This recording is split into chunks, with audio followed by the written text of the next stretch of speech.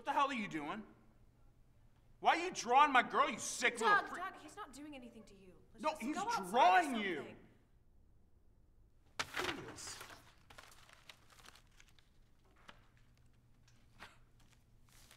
This is nice. Yeah, this is really nice. I'm gonna pound your face, you little All punk. right, settle down, Cujo. Principal's office, now. Now. This isn't over.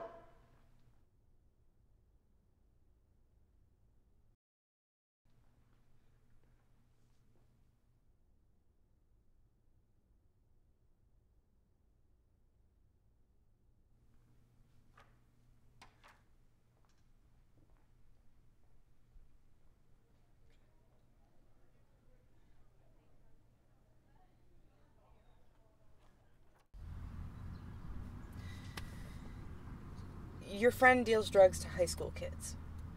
That seems like a detail you might have shared with me earlier, Gage.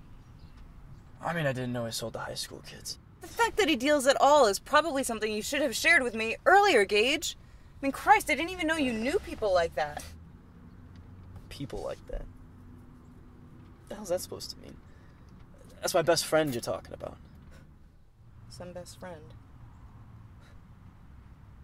Yeah, Chelsea.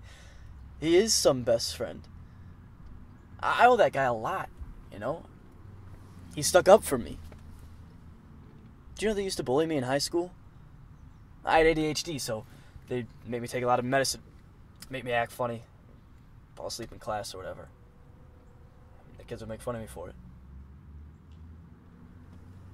And sometimes they beat me up. But not Grigo. You tell him to lay off. One time, he even tried to fight off some guys who had my head in a toilet.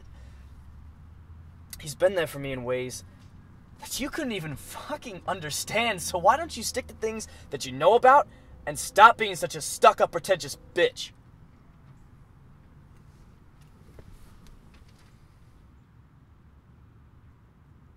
Why did you do that?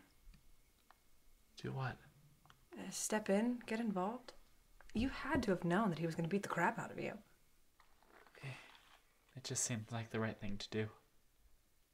Well, thanks. Nobody's ever done anything like that for me before. Just doing my job, ma'am.